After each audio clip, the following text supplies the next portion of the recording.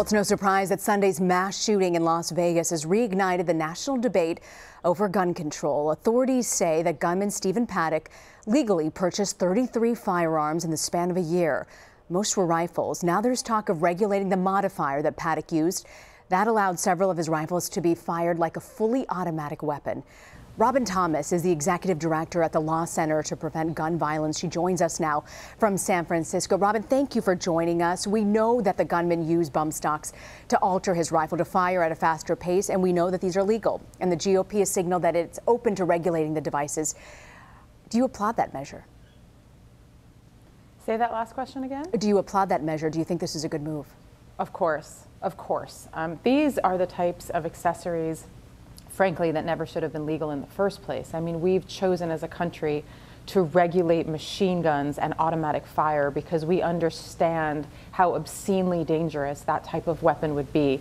Bump stocks were approved by the ATF about in 2010, I think in part because technically under the letter of how our federal regulations work, they were there was no obstruction to having them be approved. The problem is when you see how they work, when you understand what they do, which is to turn an already extremely dangerous semi-automatic weapon into basically a fully automatic weapon that can fire a tremendous number of bullets very, very quickly. It's very clear that this is not something that we want civilians having access to, particularly when in many states you can get these even without a background check. So you're basically arming the civilian population with incredibly dangerous weapons of war. You know, Robyn, it's been over two decades since Congress has managed to pass some sort of significant and substantive gun control legislation. But when you look across at the state level, are there any states who have been more successful? There are actually a tremendous number of states that have been more successful, and that's something that we are so grateful for and proud of because we've been working really hard alongside our allies across the country. We've passed almost 200 state level gun regulations since the shooting at Sandy Hook Elementary School, and that's in almost 40 states.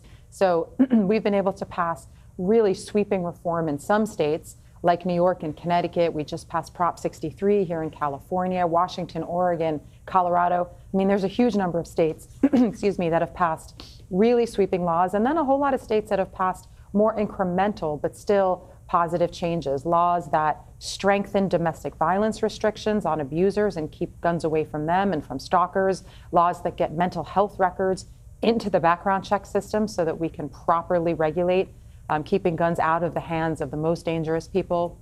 So we are making progress definitely at the state level. And we know that there are eight states in the U.S. that have actually put bans on large capacity magazines.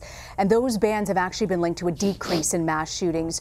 Why do you think it is that more states haven't been able to pass similar laws?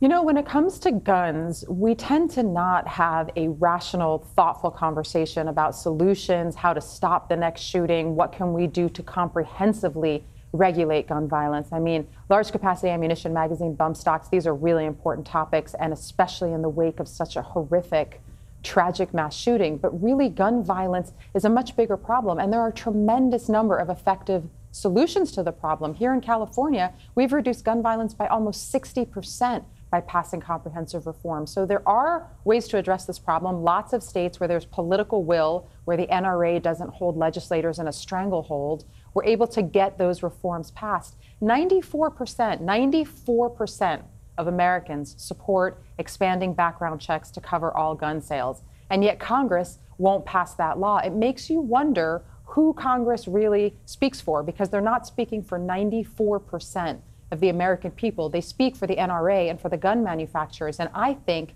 the American people are getting fed up with that. At least I hope after a tragedy like this that people are getting fed up with a government that is beholden more to a special interest group than to the lives of American citizens. So, Robyn, what do you say to Americans who think gun control is just a slippery slope? Any new regulation then opens the door to encroaching on their Second Amendment to carry a firearm? You know, frankly, I'm, I'm a civil rights lawyer, I'm a Second Amendment scholar.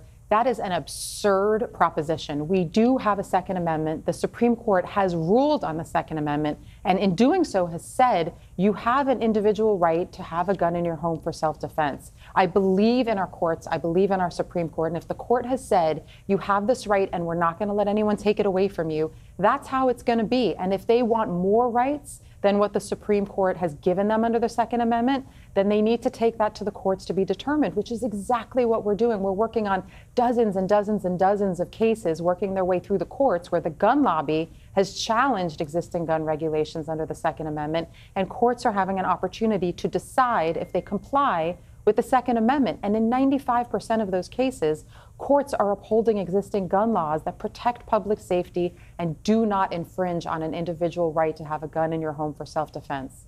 Robyn Thomas, thank you for joining us, Robyn. Thank you so much for having me on.